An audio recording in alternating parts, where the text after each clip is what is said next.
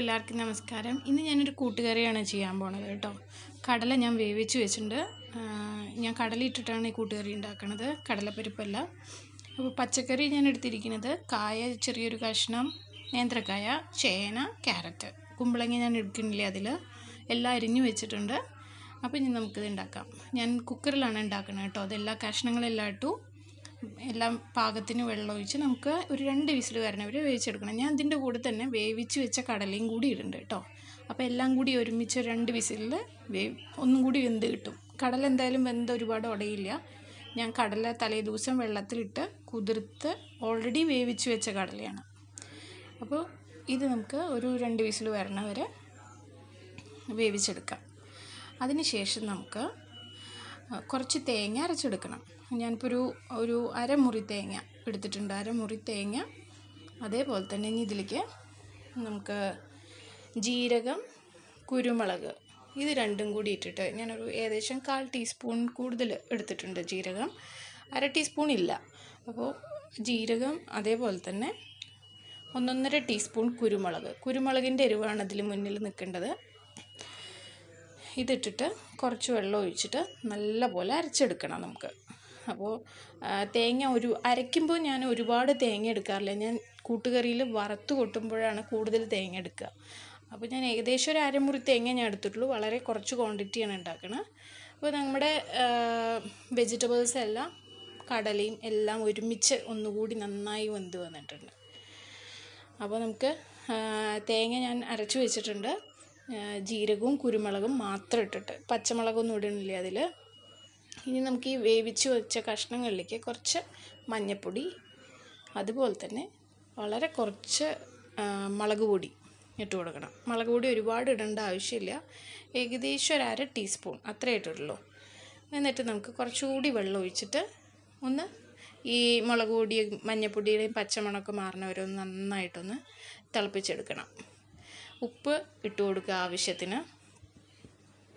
ഒരു ഏകദേശം കുറച്ചുകൂടി വെള്ളം. ഇതിലിപ്പോൾ അധികം വെള്ളമില്ലല്ലോ. അപ്പോൾ എല്ലാ ഈ പൊടിയുടെ പച്ചമണമൊക്കെ മാറണവരെ നന്നായിട്ടൊന്ന് തിളപ്പിച്ചെടുക്കുക. നല്ലപോലെ ഒന്ന് ഇളക്കി കൊടുക്കുക.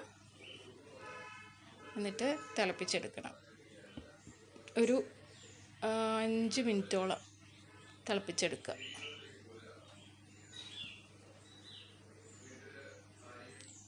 നല്ല തിള വരണ സമയത്ത് നമുക്കിതിലേക്ക് ഒരച്ച് ശർക്കര ഒരച്ച് ഞാനൊരു ഒന്നൊന്നര അച്ച് ഇടുന്നുണ്ട് കേട്ടോ. ചെറിയൊരു മധുരം. നമ്മൾ ഈ പാലക്കാട് സൈഡിൽ കൂട്ടുകാരിക്കൊക്കെ കുറച്ച് മധുരം ഉണ്ടാവും. അപ്പം ഞാൻ കുറച്ച് മധുരത്തോട് കൂടിയിട്ടാണ് ഉണ്ടാക്കുന്നത് മധുരവും ഉണ്ട് ആ സെയിം ടൈം നല്ല കുരുമുളകിന്റെ എരിവും ഉണ്ടാവും. വേറെ പ്രത്യേകിച്ച് പച്ചമുളക് മുളക് പൊടിയൊന്നും എരിവ് അറിയില്ല. അപ്പോൾ നമ്മുടെ ഈ ശർക്കരയൊക്കെ നന്നായി ഇതിൽ അലിഞ്ഞ് വരുന്ന ആ സമയത്ത് നമുക്ക് അരച്ചു വെച്ചത് തേങ്ങ ചേർത്ത് കൊടുക്കുക.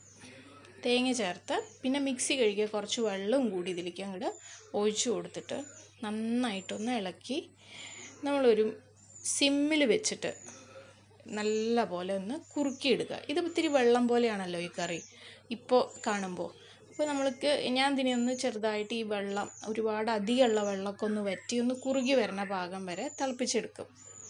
ഒരു സിമ്മിലിട്ടിട്ട് തിളപ്പിച്ചെടുക്കുക. ഇടയ്ക്കൊന്ന് ഇളക്കി കൊടുക്കണം. കരിഞ്ഞു പോകരുത് അടി പിടിക്കരുത്.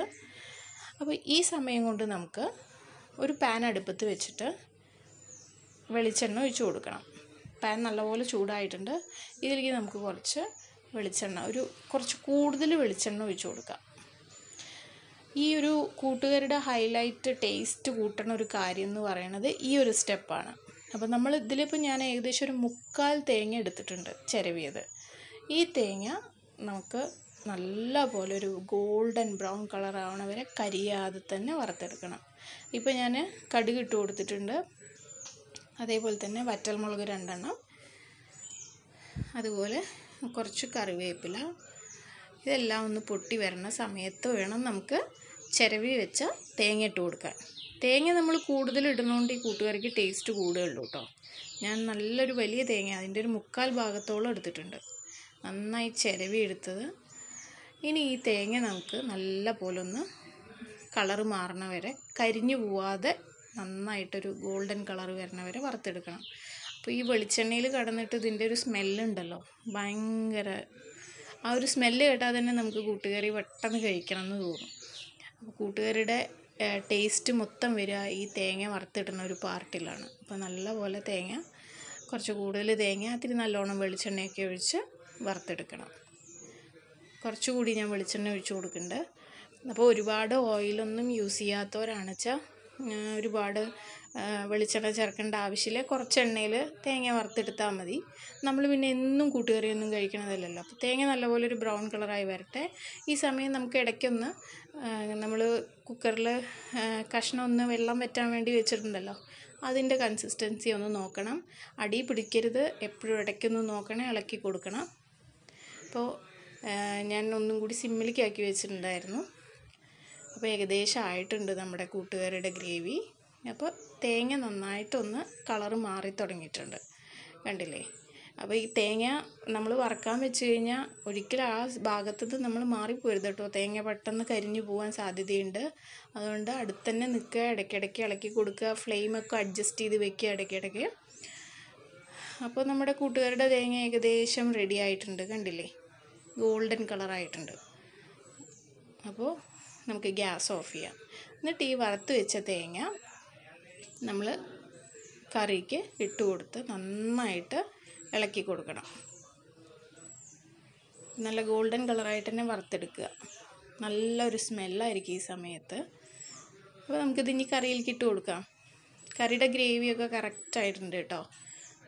ഇനി ഈ തേങ്ങയും കൂടി ഇട്ടിട്ട് ഇളക്കി കൊടുക്കുമ്പോൾ നല്ലൊരു കട്ടിയായിട്ട് ഒന്ന് തിക്കായിട്ട് വരും. അങ്ങനെയാണല്ലോ കൂട്ടുകറിയുടെ കൺസിസ്റ്റൻസി ഒരുപാട് വെള്ളം പോലെയുള്ള കറിയല്ലല്ലോ കൂട്ടുകറി. അപ്പം ഞാൻ എപ്പോഴും കൂട്ടുകറി ഉണ്ടാക്കുക അങ്ങനെയാണ്. എന്റെ മോന് കൂട്ടുകറി എപ്പോഴും ഇഷ്ടം ഇങ്ങനെ ഉണ്ടാക്കുന്നതാണ്. നമ്മൾ പാലക്കാട് സൈഡിലൊക്കെ എന്റെ അമ്മയൊക്കെ ഉണ്ടാക്കുക എപ്പോഴും കടലപ്പരിപ്പൊക്കെ ഇട്ട് കുമ്പളങ്ങി ഇടും. പക്ഷെ ഞാൻ കുമ്പളങ്ങി ഇടില്ല കടലപ്പരിപ്പ് ഇടില്ല അതിട്ട് കഴിഞ്ഞാൽ ഇഷ്ടമല്ല എനിക്കും ഇഷ്ടമല്ല മോനൊന്നും കഴിക്കില്ല.